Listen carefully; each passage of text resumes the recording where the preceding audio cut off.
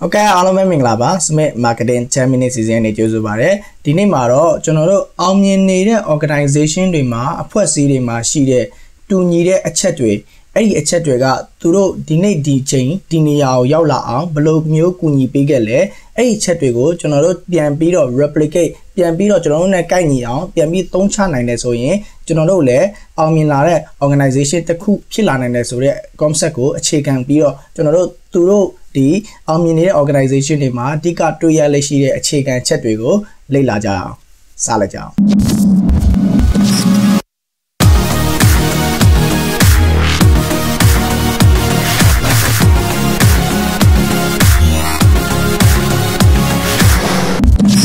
နေ့ဗီဒီယိုတော့ကျွန်တော် excellent in management လို့ကျွန်တော်နာမည်ပေးထားပါတယ်အဓိကအပြင် management လို့ပြောလာပြီဆိုရင်လုံးဝကိုအစွမ်းထက်တဲ့လုံးဝကိုထိရောက်တဲ့ management တစ်ခုဖြစ်လာအောင်ပြီးတော့မှအဖွဲ့အစည်းတွေမှာဘယ်လိုမျိုးမူကြီးလက္ခဏာရှိတင်လဲဆိုတာကိုကျွန်တော်တို့လေ့လာသွားမှာဖြစ်ပါတယ်ဒီနေ့ကျွန်တော်ဗီဒီဒီနေ့ဗီဒီယိုမှာဆွေးနွေးသွားမယ့် concept ကိုကျွန်တော်ဘယ်ကနေရယူထားရလဲဆိုတော့ကျွန်တော်တို့ဒီဒီ in the search of excellence ဆိုတဲ့စာအုပ်ကနေပြီးတော့1900ကျွန်တော်တို့82ခုနှစ်လောက်မှာထွက်ခဲ့တဲ့စာအုပ်ကနေပြီးတော့သူတို့ ဒီစာရေးဆရာနှစ်ယောက်ပေါ့နော်ကျွန်တော်တို့ management လောကမှာတော့ဒီ Peter နဲ့ Waterman လို့လူသိများပါတယ်အဲ့စာစာရေးဆရာနှစ်ယောက်ကတို့ company ပေါင်းများစွာကိုလေ့လာကြတယ်ပြီးတော့မှအဲ့ company တွေမှာအောင်မြင်နေတဲ့ company တွေမှာတူညီတဲ့အချက်တွေကဘာတွေဖြစ်မလဲဆိုတော့သူတို့ကသူတို့တနာပြုလုပ်ခဲ့ကြတယ်ပြီးတော့မှဒီစာအုပ်ကိုရေးခဲ့တယ်ပေါ့နော်ဒီထဲကကျွန်တော်ဟိုအချက်၈ချက်ကိုကျွန်တော် summarize လုပ်ပြီးတော့အနှစ်ချုပ်ပြီးတော့ကျွန်တော်ပြောချင်ပါတယ်ဆိုတော့ကျွန်တော်ခုနပြောခဲ့သလိုပဲသူတို့ကဒီ Codex တို့ IBM တို့ McDonald တို့အစရှိတဲ့ဒီကဘာနဲ့ တလွန်ဒီအောင်မြင်နေတဲ့ organization တွေမှာဘယ်အချက်တွေကများသူတို့ကြားမှာတူညီနေရလဲသူအဲ့အချက်တွေကသူတို့ရဲ့အောင်မြင်မှုဘယ်လိုမျိုးအထောက်ပံ့ပြုနေရလဲဆိုတာကိုကျွန်တော်တို့သူတို့အချိန်ပေးပြီးတော့သူတည်နာပြုပြီးတော့လေ့လာခဲ့တယ်ပြီးတော့မှခုနကျွန်တော်ပြောခဲ့တဲ့ in the search of the excellence စာအုပ်ကိုသူတို့ကထုတ်ဝေခဲ့တယ်ပေါ့နော် ဆိုတော့အဲ့လိုမျိုးကျွန်တော်တို့သူတို့ conclusion ချလိုက်တဲ့ချိန်မှာအဲ့ဒီအောင်မြင်နေတဲ့ကဘာနဲ့ချီပြီးတော့စီးပွားရေးလုပ်ကိုင်နေတဲ့အောင်မြင်နေတဲ့ organization တွေမှာတူညီတဲ့အချက်ရှစ်ချက်ရှိရဆိုတော့တွေ့ရမှာဖြစ်ပါတယ်ဒီနေ့ဗီဒီယိုမှာအဲ့ရှစ်ချက်ကိုဆွေးနွေးသွားမှာဖြစ်ပါတယ်ပထမဆုံးတစ်ချက်ကကျတော့ကျွန်တော် bias for action ပါဆိုတော့ဆိုလိုချင်တဲ့သဘောတရားကအဲ့ organization တွေကကျွန်တော်တို့က management မှာ planning နဲ့ implementation ဆိုပြီးတော့နှစ်ခုရှိပါတယ်ကျွန်တော်တို့က season ချမှတ်တဲ့အပိုင်း planning ရေးချက်တဲ့အပိုင်းရယ်ပြီးမှနောက်တစ်ခုကကျတော့လက်တွေ့ account ထဲပေါ်တဲ့အပိုင်း implementation ပေါ့နော် အဲ့ဒီ organization တွေကဘယ်မှာပို့ပြီးတော့အားတန်လဲဆိုတော့ action လို့ခေါ်တဲ့လက်တွေ့ account ထဲပေါ်ဆောင်ရွက်တဲ့အပိုင်းမှာပို့ပြီးတော့အားတန်လေးရှိတာကိုတွေ့ရလေးရှိပါတယ်သူတို့ကအဲ့ဒီ organization အကြီးတွေကကျွန်တော်တို့ပုံမှန်အဖြစ်တွေ့ရရှိတာက organization တွေ့အကြီးတွေမှာကျွန်တော်တို့ planning အားကောင်းလိမ့်မယ် planning နဲ့တေချာလုပ်လိမ့်မယ်လို့အမြဲတမ်းကျွန်တော်တို့ကထင်လေးရှိတယ်ဒါလည်းမမှားပါဘူးမှန်ပါတယ်ဒါပေမဲ့တကယ်တမ်း plan နဲ့ implementation ကိုရောက်လာပြီဆိုအဲ့ဒီ organization ကသူတို့က action ဒီလက်တွေ့ account ထဲပေါ်တဲ့အပိုင်းကိုပို့ပြီးတော့အားတန်တယ်ဆိုတော့တွေ့ရမှာဖြစ်ပါတယ်နံပါတ်1ချက်ကတော့သူတို့ကဒီ ဒီ experience အာဒီ trial and error ပေါ့နော်လုပ်တယ်မှားတယ်ပြင်တယ်ဆိုတော့အနေထားမျိုးသူတို့ကမကြောက်ပါဘူးသူတို့ရဲ့သူတို့ထဲမှာရှိတဲ့ employee တွေကိုလည်းအဲ့လိုမျိုးလုပ်ဖို့အတွက်သူက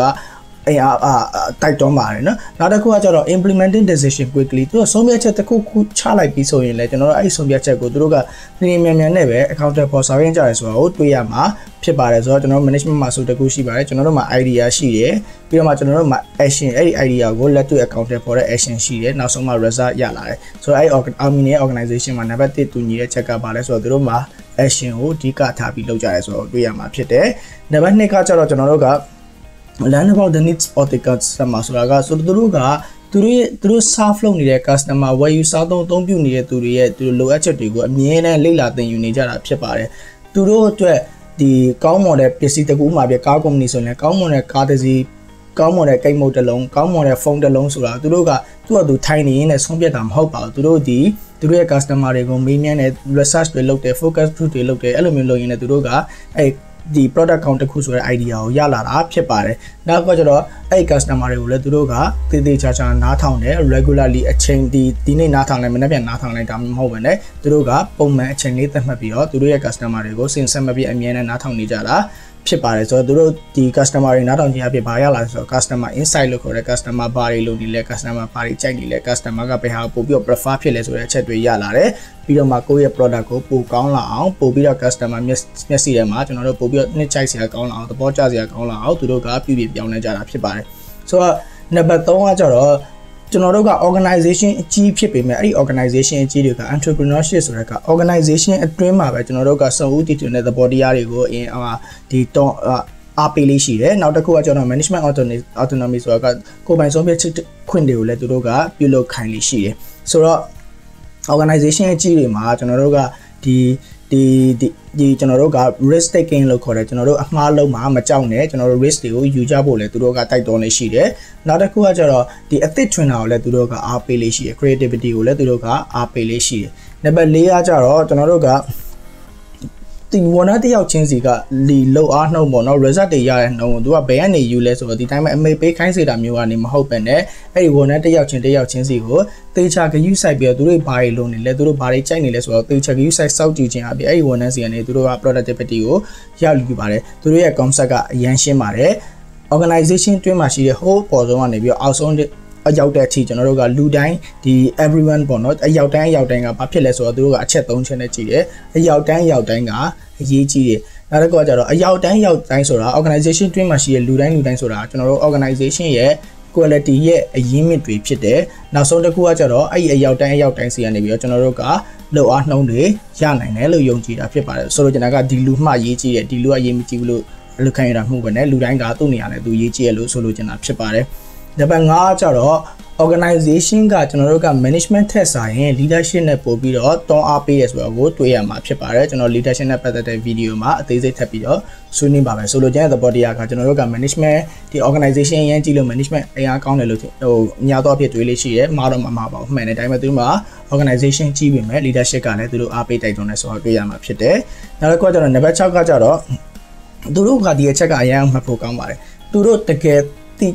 ကျွမ်းနားလဲတက်ကျွမ်းတယ်ဟိုမှာဒီစီးပွားရေးလုပ်ငန်းတွေကိုပုံမှာပဲသူတို့ကအဓိကအာရုံစိုက်ပြီးတော့လုပ်ကြလေးရှိတယ်ဒီနေ့ခေတ်မှာကျွန်တော်တို့ကစီးပွားရေးလုပ်ငန်းတွေကကျွန်တော်တို့က diversify လို့ခေါ်တဲ့နေရာပေါင်းမြောက်များစွာမှာယင်းနှင်းညွန့်နိုင်ပြီးလုပ်ကိုင်ကြတာကိုတွေ့ရမယ်ဒါပေမဲ့အောင်မြင်နေတဲ့တကယ်တကယ်အောင်မြင်နေတဲ့ organization ကကျွန်တော်တို့ကသူတို့အကောင်းဆုံးသိတဲ့သူတို့ဒီဒီနားလည်မှုအရှိဆုံးဖြစ်တဲ့စီးပွားရေးလုပ်ငန်းတွေကို stick to ဖြစ်တယ်ပေါ့နော်တကယ်ကိုဒီဟာလုံးဝကိုမစွန့်ခွာဘဲနဲ့လုပ်ကြတာဆိုတော့တွေ့ရမှာဖြစ်ပါတယ် ဆိုတော့ဥပမာပြကျွန်တော်တို့ Facebook ဆိုရင်ကျွန်တော်တို့အရင်တော့ဖုန်းထုတ်ဖို့ကြိုးစားတယ်ဒါပေမဲ့မအောင်မြင်ခဲ့ဘူးသူရဲ့သူတကယ်ကျွမ်းကျင်တဲ့ social media platform ကိုပဲသူပြင်ပြီးတော့သွားလိုက်တယ်ဥပမာအဲ့လိုမျိုးဥပမာလေးပေးလို့ရတယ်ဆိုတော့ဆိုလိုချင်တဲ့ဘော်ဒီယာကကျွန်တော်တို့ excellent performance လို့ခေါ်တဲ့တကယ်ကိုဒီစွမ်းဆောင်ရည်မြင့်မာတဲ့ထိရောက်မှုရှိတဲ့ဒီဒီစွမ်းဒီ performance တွေကဘယ်ကနေလာလဲဆိုတော့ကျွန်တော်တို့က organization တွေပေါ့နော်အဲ့ဒီ organization ကသူတို့စီးပွားရေးဘယ်လိုလုပ်ရမလဲဆိုတော့တကယ်ကိုနှစ်နှစ်ခါခါသိတဲ့စီးပွားရေးတွေကိုဒီ ဒီသူတို့ရဲ့ investment အများစုကို site ထုတ်ပြီးလုပ်နေတဲ့ organization တွေကနေလာတယ်ဆိုတော့တွေ့ရမှာဖြစ်ပါတယ်နံပါတ်9ကကြတော့ organization ကကျွန်တော်တို့က lean structure ဖြစ်ပါတယ်เนาะတကယ်ကို Apollo မရှိကျွန်တော်တို့က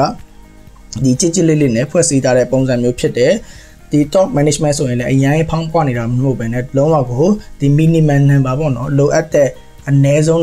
ဒီ top management level နဲ့သွားတယ်နောက်တစ်ခုကကျတော့ဒါလေးအမှတ်ဖို့ကောင်းတယ်ကျွန်တော် organization ဒီဗီဒီယိုမှာလည်းထည့်ပြီးတော့ဆွေးနွေးပါမယ် single source of reporting ကျွန်တော်တို့ကဒီအာဒီ employee တယောက်ကဘယ်သူ့ကို report ပေးရမှမသိဘူးဒီဒီတယောက်ကိုလည်း report ပေးရတယ်ဒီတယောက်ခိုင်းတာလည်းလုပ်ရတယ်ဆိုတော့အနေထားမျိုးက organization အတွက်မကောင်းပါဘူးဆိုတော့ organization ကဒီဖြစ်နိုင်သမျှတတ်နိုင်သမျှ single source ဖြစ်တင်တယ်လို့သူတို့ကယုံကြည်တာဖြစ်ပါတယ်နောက်တစ်ခုကကြတော့ centralization လို့ခေါ်တယ်ကျွန်တော်တို့ဗဟိုချုပ်ကံမှုစနစ်နဲ့ decentralization လို့ခေါ်တဲ့သက်ဆိုင်ရာနယ်ပယ်တွေကိုလိုအပ်တဲ့ဒီလုပ်ပိုင်ခွင့်တွေပေးခြင်းအဖြစ်အဲ့နှစ်ခုကလည်းသူတို့ကအဲ့ organization တွေမှာ balance ဖြစ်ဖြစ်သွားတယ်ဆိုတော့တွေ့ရမှာဖြစ်ပါတယ်။ဘာဆိုလို့ကျင်လဲဆိုတော့ကျွန်တော်တို့ကတစ်ဖက်မှာလည်း organization တစ်ခုလုံးနေနဲ့ organization သွားနေတဲ့နေရာကိုတတ်တတ်မှတ်မှတ်တိတိကျကျ centralize လုပ်ပြီးသွားတယ်ဒီ ငါတို့ကဒီနေရာသွားမယ်ဆိုရင်ဒီနေရာကိုအကုန်လုံးကဒီ global နဲ့ဖြန့်ချီပြီးလုပ်နေတယ်ဆိုရင်ဒီနေရာကိုရောက်အောင်သွားတယ်တစ်ဖက်မှာလည်းကျွန်တော်တို့ကဘာကိုပေးလဲဆိုတော့ဒီ individual autonomy ပေါ့နော်တဦးချင်းတစ်ယောက်ချင်းစီမှာရှိသင့်ရှိတိုက်တဲ့ကျွန်တော်တို့လုပ်ပိုင်ခွင့်အာဏာတွေကိုလည်းသူတို့ကရှိသင့်တဲ့ရှိတိုက်တဲ့အမှောင်ကိုပေးတာဖြစ်ပါတယ်ဆိုတော့ centralization နဲ့ decentralization ကကျွန်တော်တို့ management မှာ debate တွေဖြစ်ခဲ့တာကြာပါပြီကျွန်တော်တို့တစ်ဖက်တစ်ဖက်ညှင်းခုန်ခဲ့တာကြာပြီဆိုတော့ဒီဒီ centralization နဲ့ decentralization အခန်းအောင်ရင်ကျွန်တော်တို့သေချာဆွေးနွေးပါမယ် နောက်တစ်ဆိုတော့ဒီအခုကျွန်တော်ဆွေးနွေးခဲ့တဲ့အချက်၈ချက်ကိုကျွန်တော်တို့ဒီကျင့်သုံးနိုင်တယ်ဆိုရင် organization ထဲမှာကိုယ့်ရဲ့ organization မှာအဲ့အချက်၈ချက်စလုံးပြည့်စုံတယ်ဆိုရင်ကိုကိုတွေနေနဲ့လည်းအဲ့ဒီလိုမျိုးအောင်မြင်တဲ့ organization တစ်ခုရောက်လာမယ်လို့သူတို့ကယုံကြည်ခဲ့တာဖြစ်ပါတယ်ဆိုတော့ကိုယ်အနေနဲ့ဘယ်အချက်တွေကိုကျင့်သုံးလို့ရလဲကိုယ့်ရဲ့ organization မှာဘယ်နှခုလောက်ကရှိနေပြီလဲ sense လေ့လာလို့ရပါတယ်ဆိုတော့ဒီနေ့ဗီဒီယိုမှာဆွေးနွေးခဲ့တဲ့ကျွန်တော်တို့ management နဲ့ပတ်သက်တဲ့ organization တွေကိုဘယ်လိုပုံစံမျိုးဖွဲ့စည်းသင့်လဲ organization တွေမှာဘယ်လိုအချက်တွေနဲ့ကိုက်ညီသင့်လဲဆိုတာနဲ့ပတ်သက်ပြီးတော့သိပညာတစ်ခုရမယ်လို့ကျွန်တော်ယူဆပါတယ်ကျွန်တော်တို့ကိုယ့်ရဲ့မိတ်ဆွေတငယ်ချင်းတွေကိုလည်းဒီဗီဒီယိုကနေသင်ဆက်မျှဝေပေးလို့ရပါတယ်ဆိုတော့ဒီနေ့ဗီဒီယိုမှာဆွေးနွေးခဲ့တဲ့ power slide ကိုလည်း download ပြုလို့ရပြီပြုလို့ရတဲ့ link ကိုကျွန်တော်ထည့်ထားပေးရပါတယ်ကျွန်တော်တို့တပတ်ကမှာဆက်ပြီးတော့တွေ့ကြတာပေါ့ peace